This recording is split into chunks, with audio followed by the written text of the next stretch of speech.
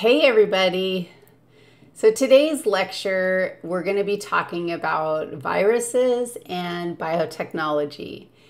It's a good um, ending of our unit on energy and genetic materials and how genetic material functions.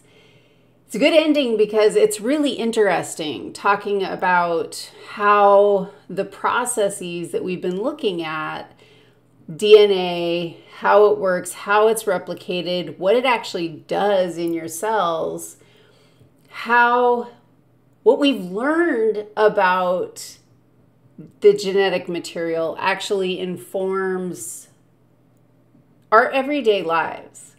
Now, you probably are not tracking.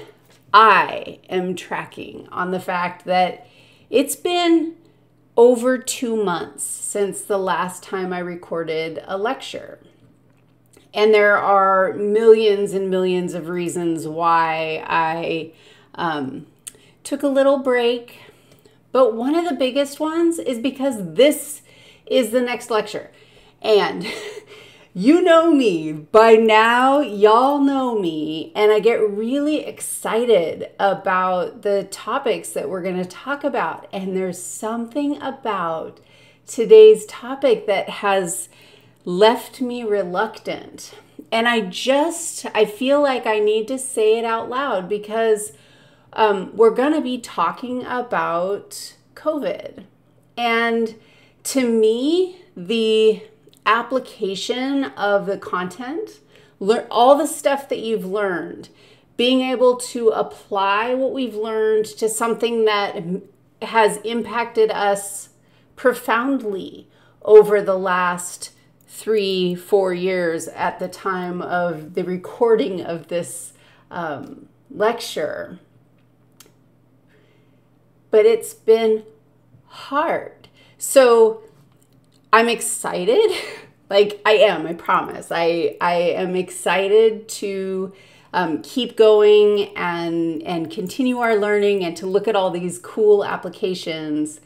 But there's also a part of me that feels um, like it's hard to talk about COVID, and it's hard to talk about it because I think we we don't have many options. We just are kind of like grinding back as if um, it's done. And I don't know about y'all, but I definitely have um, permanent impact because of experiencing this pandemic. So, I'm only saying it out loud because I want to acknowledge my own um, my own stuff that comes up when I talk about this and to sort of name or call out the fact that I feel a little less um, excited and enthusiastic about this lecture, and I'm sure that you probably will pick up on that.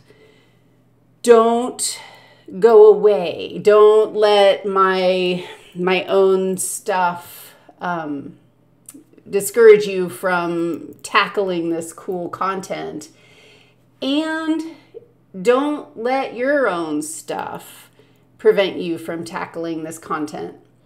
But know that I am, it's a weird time, and this is a weird thing to talk about and reflect on. And I think um, maybe we haven't done enough reflecting on it. Maybe we're not far enough away from it yet to really understand what we sort of went through and to have um, good perspective. But the cool thing is, today we're going to talk about viruses and we're going to use the SARS CoV 2 um, virus as an example. So, lots of viruses function very similarly and have similar structures to the virus that causes COVID 19 and we're um, but you know it's relevant. It's happening in our world. So we're going to use that as our example. Okay viruses are cool. They are super interesting. And the combination of viral function structure with biotechnology that has helped us deal with viruses um, is it should be an interesting lecture. Okay, thank you for listening to me. And now we're going to talk about what is a virus.